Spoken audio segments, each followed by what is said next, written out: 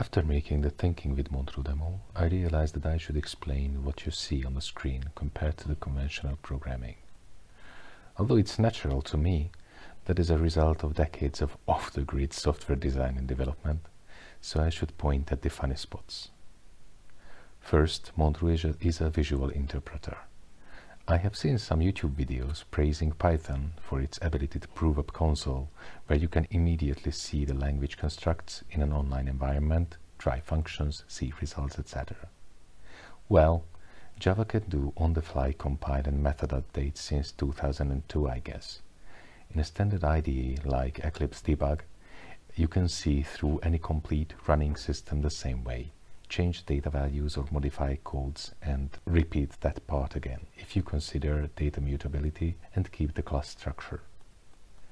That is still just a smarter way of editing text where you flatten your ideas. With any language, you also accept inconvenient limitations coming from technical issues and from paradigms like OOP that distorts your thinking. Montru is a visual online development environment this is what I will compare with what you must do in an IDE and programming language, if you can do it at all. So right now, behind the screen, there is a complete Dust Montru interpreter, an entity cloud that contains all the types, messages and entity instances needed to make Dust Montru work. The left panel is an entity finder the searching content text is looked up in all text attributes of all entities. The type filter checks if the selected type exists in an entity. The result appears in the matching entities list. The bottom text area is the toString of the selected entity. If you drag a, drag a type on the desktop, then it creates a new type. Now it's a type type and say that it's, uh, it will be the vehicle. If now you have created your first class. First the name is empty, but change it to vehicle. If you look closely, the new type appears on the left type filter immediately, and its name changes as you rename the type on the screen, illustrating the online nature of the system. Let's create a Java version. Here is the vehicle class. If you drag the vehicle type on the desktop, you get a new vehicle instance. I create a main function to follow the things you see on the screen. At this point, I have created a vehicle instance. But let's stop for a moment here because you see a property page of the newly created vehicle class. So here you must also create a vehicle panel and a vehicle frame classes and assume that the system already contains panels for the other types. Put the entity panel and the vehicle panel into the vehicle frame. That's very nice, but it's uh, quite empty. First of all, I would like to add an identifier to my vehicle that goes by dragging the, the identified type on the vehicle entity. Now I can set an identifier. Let's say it's uh, truck 01. That's very nice. So I have a truck here. Oops. At this point, I have extended the vehicle instance with data content from another class, the identified. Even if I did this on meta level, this would be multiple inheritance, but I did this on instance level. Again, I changed the meta structure of a live object instance. Objective-C has such feature at runtime, but in general, at this point, any standard object-oriented language says, goodbye, we can do that. As you see, vehicle frame now includes the identified panel, so to say. Of course, you can do that by typing the code, compile and deploy again, but you still can't do that behind a live environment as you saw it right here. But this is not the funniest part. As I type the name of the identifier, the header is updated immediately. In a code, that means the identified local member variable is private member. You had to create getters and setters, manage change listeners, and add all the screen elements that displays this variable to the listener list, including the edit box where you are typing right now, but avoid infinite loops. In most systems, this part becomes quite messy, or use some toolkits that generates the GUI codes, and in general, your system gets looked to that GUI library or that multi-platform GUI wrapper if you happen to use one. Um, I would like to have another track. That's fine. I just drag it with the control. So uh, this can be identified as track 02. I made a clone of the live object instance with the tweaked metastructure, taking care of the references as well. As you see, the lines indicate the clone entity is connected to the same instances automatically. Imagine the code you should have written, just cloning it. Long, boring, and very fragile. It tends to divert from the structure and the parallel serialization code after a few refactors. However, you can't write that code because the instance has a different metastructure than you described when you started the system. Well, in this case, that vehicle class did not even exist when I launched Montru. So I can't type that code. I only extend the desktop Java with the new instance.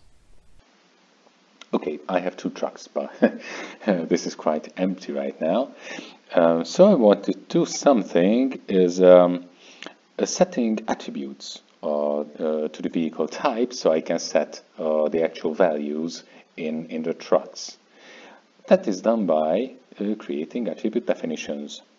Maybe I would like to um, set the coordinates of the vehicles by saying that uh, I will have an x coordinate and a y coordinate. Um, in order to uh, make this connection, of course, I have to say that the vehicle type is the parent of the at x attribute definition. As you see, right now, under the vehicle uh, type or model, uh, the x is appearing, so I can say that this is 10 and maybe this is 20. Well, I should create another attribute for storing the, the y coordinate.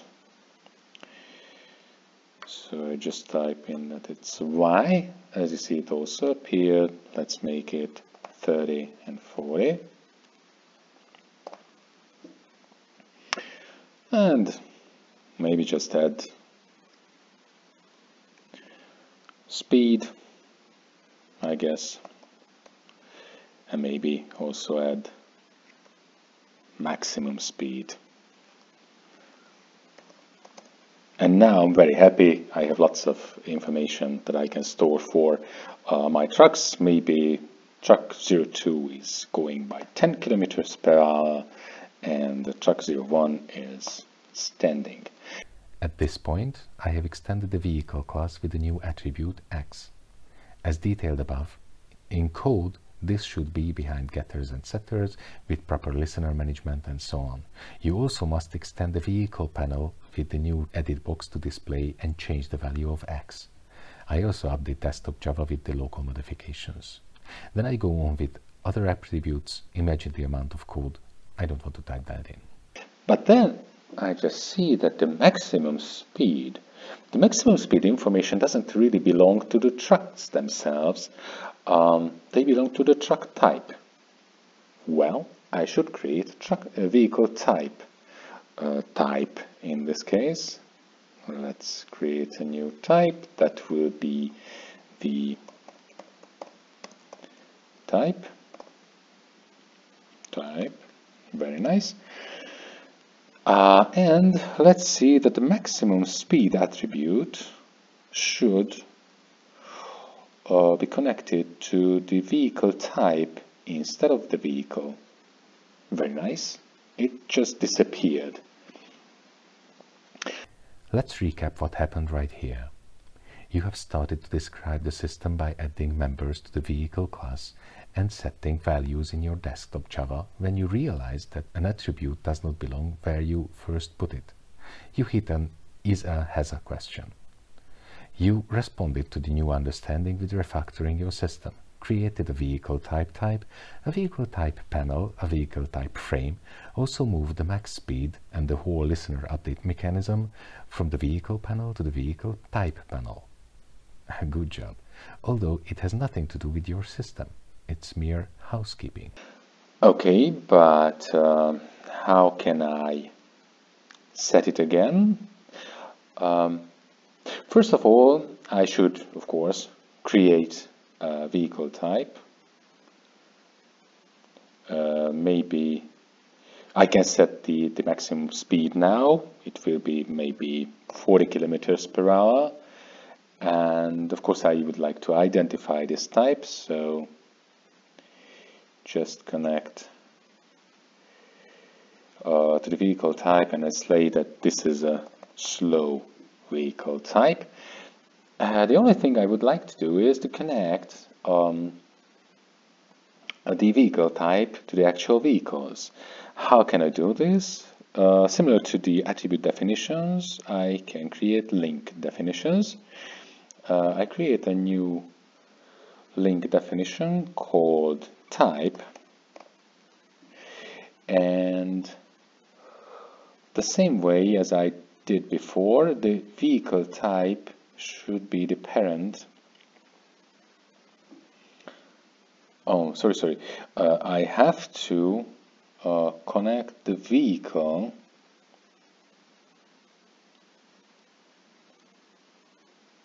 type as the parent of this type link. So now you see under the vehicle segment I can see a type and I can connect my slow vehicle type as the type of my truck 01 and 02. So right now I am able to uh, set uh, different information in the vehicle type level instead of uh, the vehicles themselves. So you can they can use the same uh, instance of, of vehicle type.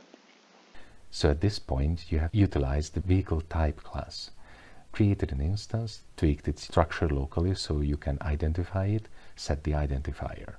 Also modify the vehicle class so that it can hold a single instance reference to a vehicle type instance, updated the vehicle panel so that you can manage the reference in a quite convenient way and set the type of your vehicles. Believe me, this gesture-based editing is not a simple feat in Java, but the most intuitive I could come up with. And it worked because I had to write it only once for all connections I will ever make among any instance as long as I use Montru.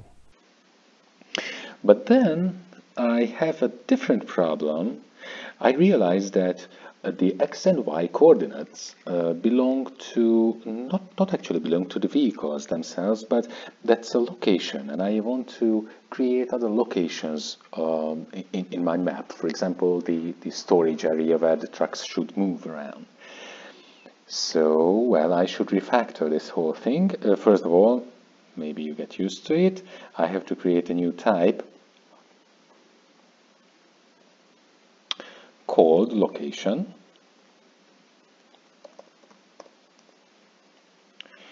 Uh, very nice, but I should just clean a bit here. So I just close the vehicle type, I close the attribute definition, so I see a bit more about it.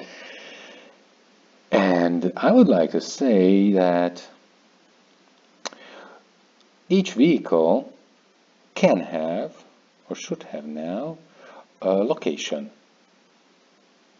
model inside the entity. So let's see. Now it's both of them have uh, locations, but I should move the x and y coordinates uh, over to to location. Of course, this is done by setting the parent of the attributes to no, not the speed, not the speed but the x coordinate here we are.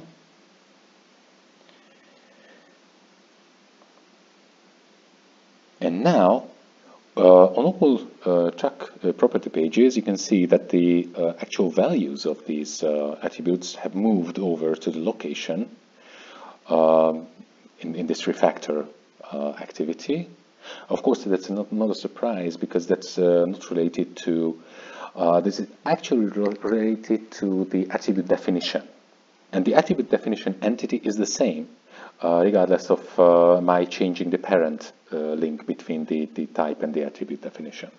The same refactor example, but at this time you already have values assigned in each vehicle entities to the attributes you want to move to another type. To do that, you should update the desktop Java according to the new names and structures. I have no valid language construct in Java to do that on instance level, so this code will not work. And uh, just for, for fun, um, and, for more convenience, uh, I would like to say that uh, whenever I create a new vehicle, it, it should have an identified and a location uh, type added uh, to it. Uh, how can I do it? I would say that I modify the type definition itself, add the connected model to it, and say that whenever I uh, pick up a vehicle, it requires the existence of a location type and also an identified type. They're all required in this case. So whenever I create a new vehicle from now on, that already contains uh, the identified attributes. So I can say that it's truck 03 and it's 80 and 90 locations. Here I demonstrate that you can manage the meta-level objects with the same tools as your own system-level instances. This is a significant difference from what you have, for example, with reflection in Java, which is a read-only view of your structure. This layer is completely transparent to you or to itself. If you make a change, you can modify the behavior of the environment. In this case, I introduced multiple inheritance to the vehicle class and thus changed the execution of the new vehicle operation as demonstrated with truck 0. I just started to think about a new system that will manage trucks and already uh, collected lots of information and refactored uh, what and where I would like to store. I could compare Montru with software design tools like Rational Tools or Enterprise Architect, but I see no reason in that. They are the most expensive development aids created by big names with hundreds of developers and vast number of features. I used them in some serious projects as an architect and developer. But on the other hand, they accept the limitations of their numerous target environments, while I focus on a fundamentally different approach avoid or break those barriers. In short, I play a different game. I hope this lower level comparison could show the advantage of a visual, online and all-in-one development environment, which is Montru. Thank you.